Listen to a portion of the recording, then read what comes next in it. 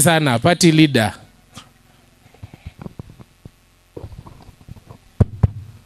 Asante sana, nashukuru tena kwa nafasi hii, ndio tuelekee awamu ya pili ya sherehe ya kuwa tumekuwa chama, cha, chama tumesimama imara kwa miaka kumi na tano. Na kama vile Secretary General aliwaeleza kwa historia kidogo, mwa- mwanzilishi wa kwanza wa chama cha PNU ni mzee Mwai Kibaki ambaye alikuwa rais wa Kenya, na wakati huo baba atakumbuka zaidi, chama cha PNU ilikuwa chama ya miungano wa vyama kama vile tuko saa hii muungano wa vyama wa Azimio. Watu walikuwa vyama vingine, wengine walikuwa NAK na wengine wakakuwa vyama vingine e, Flower Party na nini. Sisi zote tukaingia kwa mrengo wetu, tulikuwa kwa PNU. Ma, memba wa kwanza ambaye alienda kwa kura peke yake akiwa memba kabla ya wengine waingie alikuwa Mwai Kibaki. Sisi tukawa vyama vile vingine, baadaye tukakuwa chama moja, ikakuwa chama but Belen ilikuwa chama ya muungano kama vile mnajua Azimio, lakini saa hii ni chama ambayo iko na direct membership na ikakuwa tamu ya pili ya Mwai Kibaki ikakuwa ruling party, ilikuwa inaongoza, na wakati huo hiyo serikali ilikuwa na PNU, lakini pia ilikuwa serikali, kulikuwa na handshake kati ya uh, Kibaki na Raila Ondinga, akakuwa prime minister, Kibaki na akakuwa president Kibaki akiwa anaongoza PNU. Kwa historia kidogo, hiyo ndio sababu chama inaitwa Party of National Unity, kwa sababu ilikuwa inaleta vyama tofauti kutoka Kenya ya Kenya yote kuwa memba wa, wa chama. Sitaki kuingia sana, kwa hiyo tutakuwa na mikutano ya kueleza zaidi hiyo kazi, kwa sababu leo ni siku ya kuanza recruitment na tutaenda kila eneo la Kenya kufungua maofisi na kurukuti members wa chama. Kwa hivyo langu muhimu sasa ni shukrani kwa viongozi wa vyama vyetu ya Azimio ambao wamekuja kuwa nazi siku ya leo. Tuko na wawakilishi wa vyama mbalimbali na wengine pia nafikiri wako njiani, lakini kwa sababu ya muda tutaanza kuzungumziwa na kusalimiwa na wale wako tukiendelea, alafu tuta, mwisho tutakata keki ya 15 years.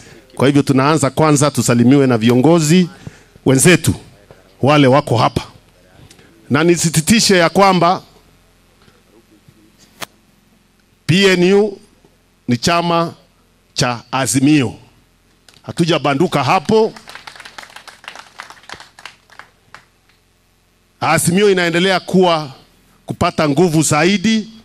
Najua kuna story story huko ambazo huwa zinakuwa sponsored na wale wa watu wa Kenya kwisha.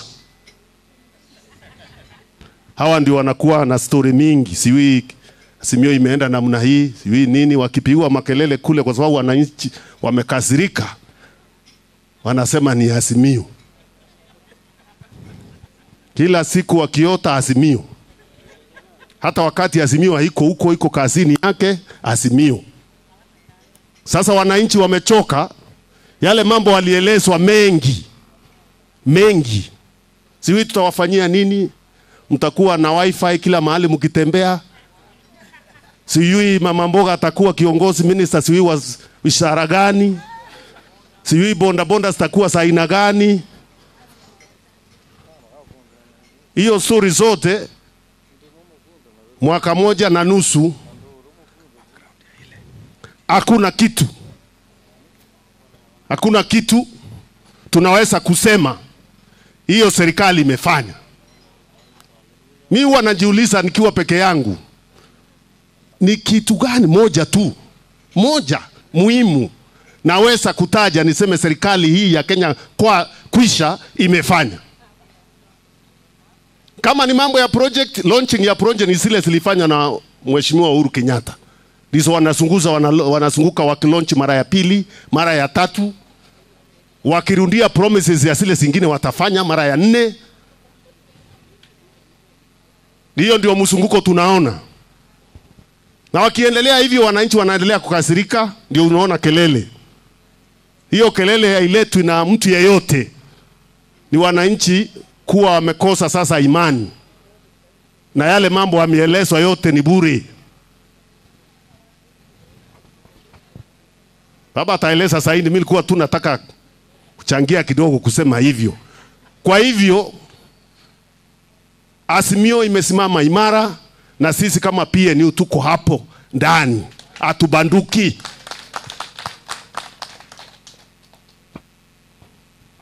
Tunaweza kubanduka namna gani? Tukitazama legacy ya kiongozi wa PNU mzee Mwai Kibaki, ile kazi alifanya kufufua uchumi wa Kenya ulikuwa umekwisha kwa miaka ishirini na tano ya Moi, akaifufua Kenya, ikarudi uchumi ukarudi, heshima ikarudi, asira, ajira zikaanza kupatikana, tukakuwa na confidence that it can be done, kazi inaweza fanyika. Sasa tuko kwa mteremko, tukimaliza hiyo kazi yote, hata ile imechangiwa na Uhuru baada ya Kibaki, hiyo ni mteremko, sasa ni kumalizia. Kwa hivyo sisi lazima tuwe kule, kuko na timu ambayo inataka kubadilisha hiyo, na hiyo timu ingine ni Azimio la Umoja ikiongozwa na baba Raila Amolo Odinga. Kwa hivyo nataka niwawajilishe viongozi wale wengine tuko nao kwa vyama mbalimbali ambao wamekuja kushikana nazi hapa. Tuko na Mheshimiwa Wanjakoya hia, nani amjui? That's kwa require introduction. Alafu tuko na mheshimiwa